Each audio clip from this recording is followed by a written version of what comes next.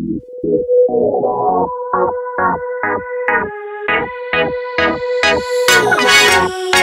you.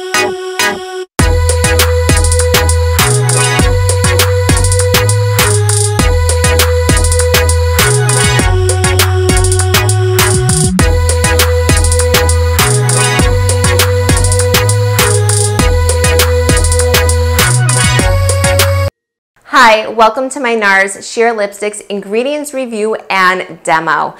I love NARS lipsticks. I have been using them for years, so I was pretty surprised the other day when I noticed that they were in the just arrived category on the Sephora app. I did a little bit of research into why that was, and it turns out that the ingredients in these lipsticks have recently been reformulated.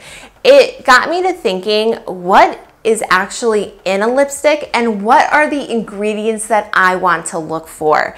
So me being me, I did a deep, deep dive into these NARS sheer lipsticks and I am so excited to share with you what I found.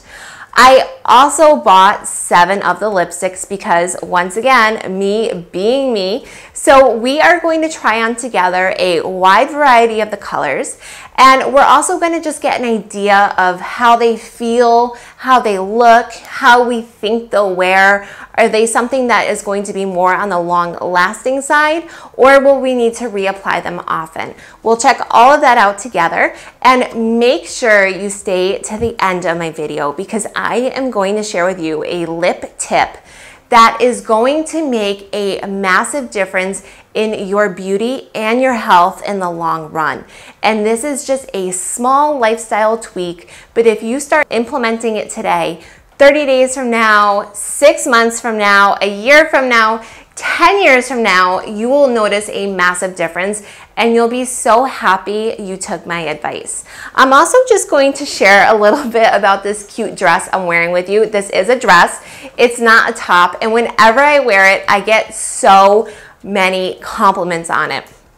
I'll tell you where I got it from. I'm sure you can guess that I'm wearing it today because I'm doing a lipstick video and why this dress is so great for all body types. This will look great on you no matter what size you are because of the cut of the dress and there's something very special about it. So at the end of the video, I'll do a full body modeling of the dress with you. I'll even show you the shoes that I like to wear with it because I get a lot of compliments on those too and they are so comfortable and cute. And you can get an idea of this whole NARS lipstick look. So before we get started, please make sure you subscribe to my channel if you haven't already and you hit that notification bell so you never miss any of my upcoming videos.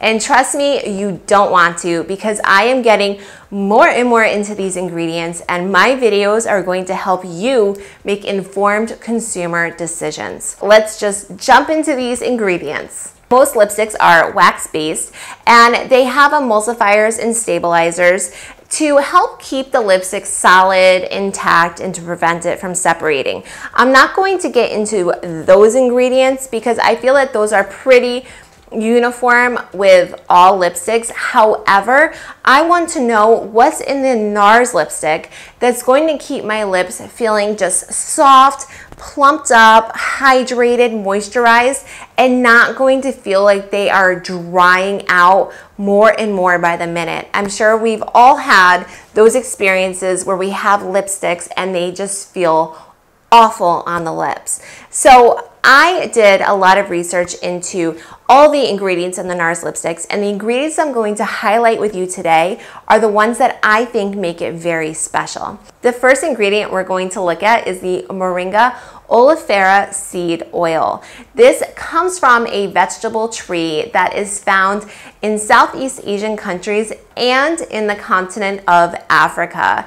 And this is known as a miracle tree because not only does it provide food, it does well in drought, it's fast growing and it contains a very special oil with many, many uses, including cosmetic uses.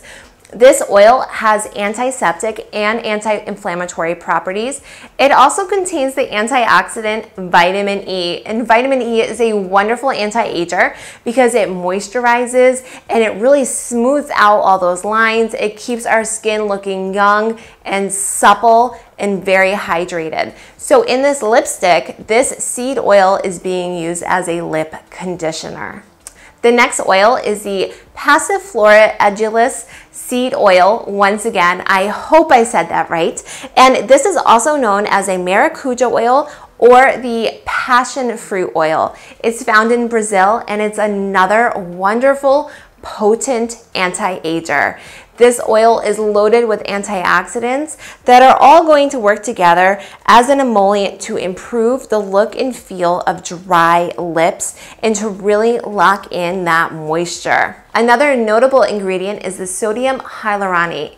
This is one we all know and love. Hyaluronic acid is going to just lock in that moisture, temporarily plump up our lips, and reduce those fine lines. Another ingredient I discovered is tocopherol and tocopherol acetate and this is actually vitamin E which we've just discussed is an antioxidant and it's just full of moisture and it's going to smooth and strengthen our skin. And we're going to have nice plumped up healthy youthful looking lips Aminobutyric acid is another ingredient in this lipstick, and that is also an antioxidant, and it's going to help to decrease the appearance of wrinkles.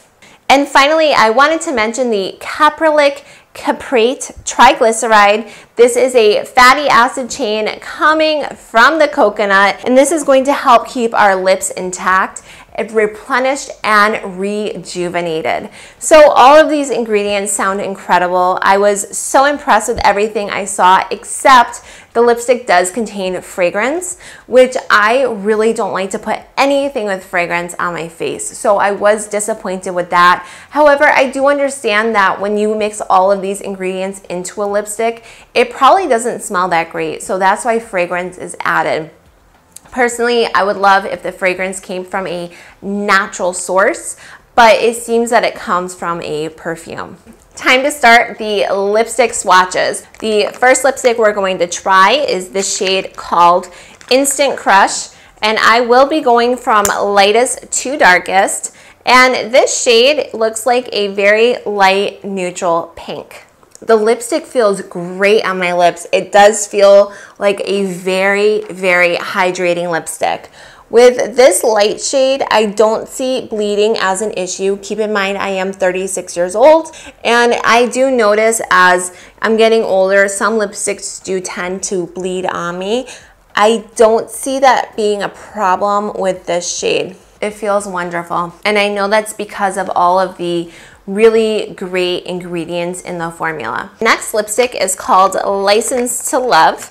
And when I picked out these lipsticks, I just tried to go for a wide range of colors and to pick ones that I would want to use in my everyday life. I love this shade because it is just a beautiful light peachy coral type color. And I do notice that the lipstick is actually sweating a little bit. This may be something you've noticed before in your lipsticks. And the reason for that is when the temperatures really fluctuate around the lipstick, it can cause oils in the lipstick to be brought to the surface. These lipsticks were delivered to me and I'm sure in the truck it was super hot. So that changed, you know, the composition a little bit of the lipstick but they're still safe to use and it's not going to affect your health at all. And it shouldn't affect the lipstick either. Ooh, this is another great color. These formulas are so, they're just made for me. I always feel that I have very you know, average size lips, which I'm fine with, but I like my lipsticks to have that creamy and that real kind of luminous quality to them because it does give them the illusion of being more plumped up. When I wear ones that are very matte and more on the dark side, my lips just instantly look thinner and it's so noticeable to me. This is a beautiful, I would say light to medium coral and I think it would look great on so many different skin tones. Now we're going to take a look at NARS Damage. All right, I just had to quickly stop the camera because as I was showing it, I dropped it and the lipstick is smushed. Only me. But yeah, the lipstick, unfortunately, I just smushed it, but it should still work. It's just a beautiful purpley mauve with almost that My Lips But Better feeling to it. It looks like it would be a great transition color going into the fall season. I'm really getting that autumnal feeling from the shade. And I think that this shade would be one of those that would look good on a wide variety of skin tones. I will say in looking at my lips that I do feel that this shade would be dark enough to really start to notice bleeding. So if you are somebody that has that experiences bleeding with lipsticks, you probably will with this formula because it's so creamy and you would definitely need to use a lip liner. And this is just on the side, but I just realized the one that I damaged is actually called Damage. the next shade is called Bulgarian Rose. And I was so excited to get this one because I just love a good pink. Woo! And this is a very bright pink. and once again, I am seeing a little bit of that sweating of the lipstick. It is quite minor. I'm sure it's because it's August and these were sitting in a hot truck for hours and hours and it did soften up the formula of my lipsticks quite a bit. So this is a true pink. It has a hint of a warm tone to it, but not that much. This almost to me is like a flamingo pink. I think that this shade is just really fun. It's great for the summertime and it just is very lively. I could see myself wearing a shade like this when I'm going out to brunch or even on a date night. It's a really pretty shade and it would work well day or night. And once again, I really am just loving the formula. It's so soft and comfortable. I cannot tell you enough just how great my lips feel with this lipstick on it. And as far as it being sheer, it's not see-through, but it's not a super duper matte lipstick. You can put on several coats to make it more opaque, but there is a bit of a translucent quality to these lipsticks, but it's slight. Sheer is, it's a slight sheer. Now we are going to take a look at the shade Living Doll. And when I was buying these, I was really in a coral type of mood because here is yet another coral shade I bought. This one has a bit more of an orange flare to it. Now with this one, I am getting more of that sheer feeling. And when I was applying it, it did seem a bit patchy on my lips. So I did have to really put the lipstick over a few times. I'm already seeing a bit of bleeding with this one right here on the corner of my mouth. So once again, lip liners would be your friend with these lipsticks. I do think this is a great shade though, and it's just a fun pop of color and looks great with neutral eyes. We have two lipsticks left and the next one we're going to try on is Start Your Engines. Once again, this is in the Coral Orangey family.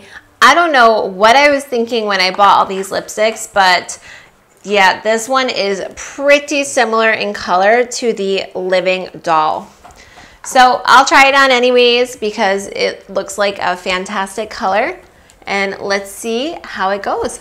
Once again, beautiful color, way too similar in shade in my opinion. I cannot even barely tell these two colors apart. And I'm one of those people that will say, oh, it's slightly different, go get it.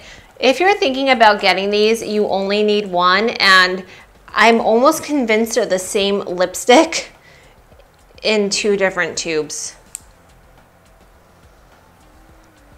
Living Doll is slightly pinkier, but not much. The last shade is a different one. I promise this is called Fast Ride, and this is more in the brown family. So I wanted to get something that just was going to be great for that fall winter season, and this is dark. All right, so I just applied a few coats of this to really try to get the color all over my lips and now I'm really feeling that sheer. It is sheer and it just seems to me that in some areas the color is just a bit darker than others. And just in rubbing my lips together, I hope this will show up on the camera. I can actually see a line of pigment going through the middle of my lip. So this one looks very uneven and I think this is just the nature of the product. So now we've tried on all seven of my NARS sheer lipsticks and I have to say I really do like the formula. It's soft and it's moisturizing and it's going to give my lips just that glossy type of plumped up look. I don't feel self-conscious that my lips look smaller with these formulas this type of lipstick. With that being said, the big downside for me is just how soft they are. These are what I would call a high maintenance lipstick. This is not a lipstick you can keep in a hot environment because it is going to really soften up the formula. And for me, I am going to have to put all my lipsticks in the fridge tonight in the hopes of helping to solidify them a little bit. If you're looking for a recommendation on a color, I would suggest going with the Instant Crush. It's just a very light shade. You can't go wrong with it. It'll look great year round and you'll really get a feel for the formula and see if it works for you. Now it's time for our lip tip. When you're wearing lipstick, especially if it's one that's glossy or high shine, your lips are not being protected from the sun. You could have SPF all over your face and body, but without anything protecting your lips, they're vulnerable. So it's very important that you apply a lip product that is a broad spectrum sunscreen. So that's gonna cover both the UVA and the UVB rays. And with the UVA rays, you could be just sitting in your house watching TV and they go right through the glass in the window and they're just damaging your lips. So I like to use the Panama Jack Dreamsicle Lip Balm. It smells great. It's an SPF 45 and I apply it every two hours to my lips. That might seem like a lot, but once you make it a habit, it becomes mindless and you do it effortlessly. So I always apply this first before putting on a lipstick and I just put on the tiniest amount. You don't need to glob it on, you just need a thin layer. So this is the one that I like to use. I quickly put it on and now I've just given myself an extra two hours of protection. I always just put a lipstick on right afterwards. This is the Bulgarian Rose we just tried on. And now I'm protected, I feel great, and it hasn't changed the integrity of my lipstick at all. So please pick one up for yourself. They're pretty cheap. You can find them all over stores in America and you will be doing yourself a big, big favor that's not going to only affect your health because you're protecting yourself from skin cancer, but also your beauty because you're protecting yourself from wrinkles, lines, and hyperpigmentation. All right, so now it's time for the dress. I just love this dress. It's so fun and flirty. Before we get started, I'm just gonna let you know I'm going to put my microphone wire down. You'll see the battery pack kind of dangling around. I apologize for that. I know it's not the nicest thing to look at. I will promise I'll get a wireless microphone very soon. So I bought this dress last summer at Anthropologie in Manhattan. I saw it in the storefront window and I knew I just had to have it for myself. It's very bold and it's also very feminine and forgiving. So this dress has more of a fitted bodice, but a very wide and flowy type of skirt. The dress also comes with this nice tie. So you can really tie the dress up to give you the illusion of a waist. And because the skirt of the dress is so full, if you have a little bit of a tummy, if you're feeling bloated, if you feel like you want to minimize the appearance of your hips, all of that is going to happen because the skirt is nice and full and it's going to contrast with the more fitted bodice. The skirt, the dress also has this really nice collar. So it's very eye catching and it really just makes the eyes look at the collar the bodice, and then the full flowy skirt. So it hides a lot of problem areas that us women tend to have from time to time. I personally have been in, in Connecticut now for about a month and a half. I'm with my family and I have a party family. If you follow me on Instagram, you'll see all the things I've been doing in my Insta stories and it's nonstop. With that being said, I have been eating like crazy and I have not exercised at all. I know it's terrible. I will get myself back on track when I get back to Dubai, but this happens to me every single summer. So I love that fact that this dress kind of gives an illusion or it just has a really slimming type of look on it.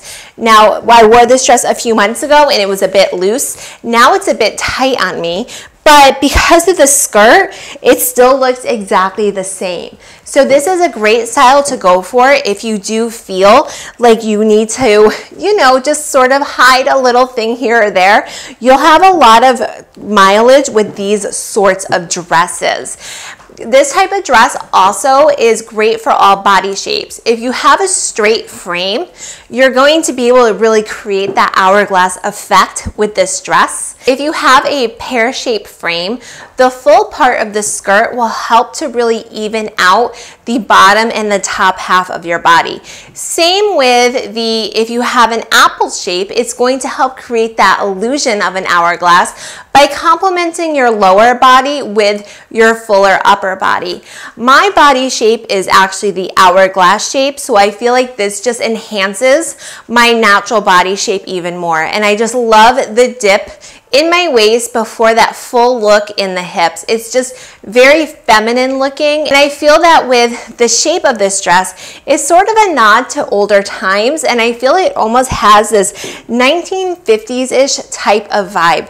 I have to tell you, whenever I wear this dress out, I get stopped so many times and women are always asking me where I got it from. Now, as far as my shoes go, I am wearing these Lilly Pulitzer pale gold wedges wedges. These are called the Kristin Wedge, and I'm wearing them in a size eight and a half. This is my second pair of these shoes. My first one lasted me three and a half years, and I recently just bought this pair. I love these shoes because once you put them on your feet and you wear them a few times, you stretch out the leather, and they just become so comfortable. They look great with skinny jeans, great with dresses, great with skirts, and I find myself wearing them nearly every single day. So get yourself a good pair of wedges. You can't go wrong.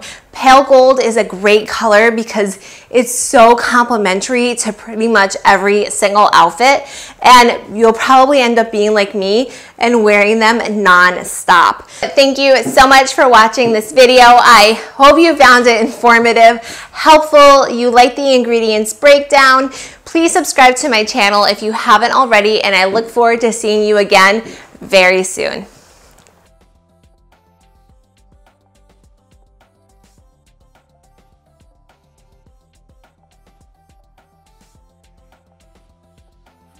Thank you for watching. Subscribe now to Lauren O'Connell Beauty TV and let's navigate together through the world of beauty.